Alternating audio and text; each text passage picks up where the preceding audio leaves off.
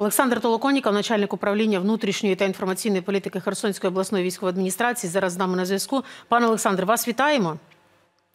Вітаю, слава Україні.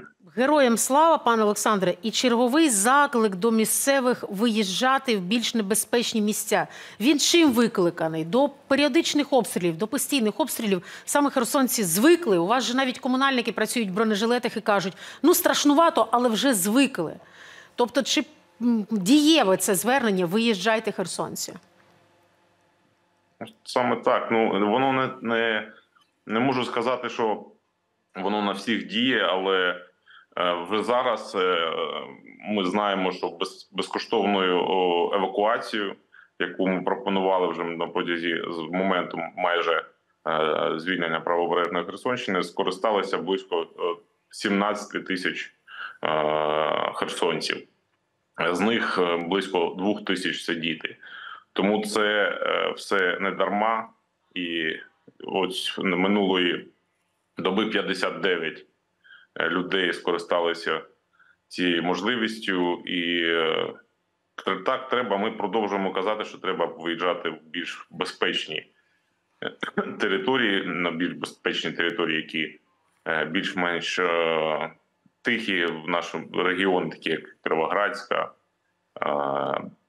інші також регіони, де і ми наші колеги з інших областей предоставляють і житло, і виплати, і кому треба е, таким як людям похилого віку, і якщо потрібно, і їжа предоставляється. Тобто це е, необхідно. Але ми всі розуміємо, що прийшла весна, всі люди хочуть е, то працювати на своїй землі, а також вже не так холодно і е, ну, не, не треба е, отаплювати свої помешкання, тому люди хочуть, мабуть, залишатися. І вже, мабуть, багато людей виїхало тих, які хотіли, а ті, які залишаються, кажуть, ми вже тут будемо до останнього, коли вже повністю все.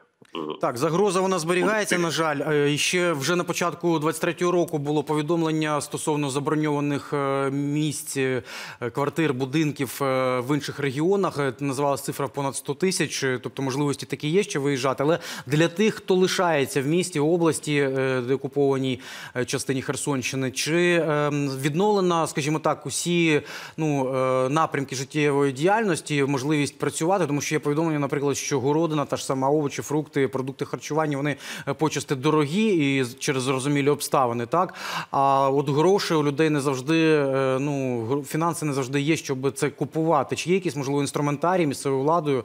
Е, Компенсаторні механізми, якісь от про це розкажіть, як люди ну не живуть, а напевно виживають все чи, чи живуть про це розкажіть. Я б сказав би, що все, все-таки люди живуть. Виживають вони тільки через постійні обстріли, які, якими постійно вкривають Херсонщину е, окупанти з того берега. Е, Саме що е, стосується їжі та гігієни, цього достатньо, і міжнародні фонди постійно це привозять.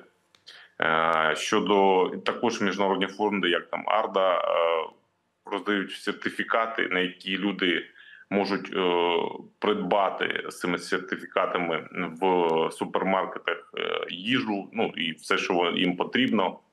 Е, тобто, і я бачу, як ну постійно тут, рухаючись по місту, бачу, як люди відкривають магазини, також і з речами, з одягом.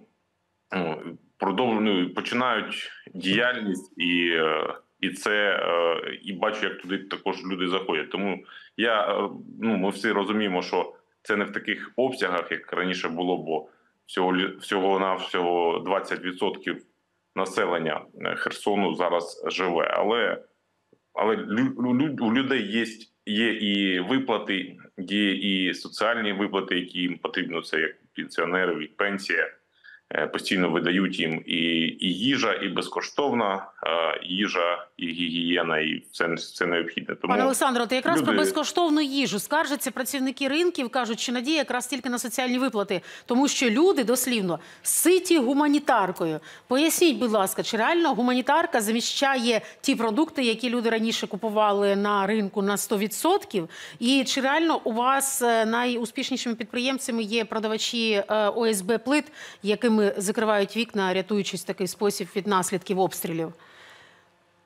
Ну, що стосується ОСБ плит, то я б е, цим е, ну, посперечався, тому що е, в нас е, працює Херсонська аварійна рятувальна е, служба, яка виїжджає на всі виклики, е, коли об, після обстрілів і закривають всі вікна. І це не тільки після обстрілів, це і е, якщо це обстріл був місяць тому, і люди звертаються, і вони можуть безкоштовно отримати цю послугу, і люди ну приїдуть робітники цієї служби і закриють. Тому немає.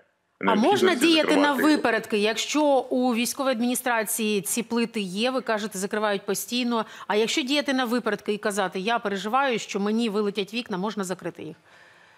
Чи так це не Ну, ви, ви знаєте, на, наші люди різні, і вони возьмуть дуже багато, а потім не хватить тим, кому дійсно треба. А з цих плит вони дійсно можуть потім е, торгувати і ще щось. Тому це не самий необхідний матеріал ну, для, для продажі. Точно в Херсонщині, бо їх дуже ну, багато завезли наші благодійники, вони є і продовжують працювати їми ну, по всьому Херсону і Дякуємо, пане Олександре. всім.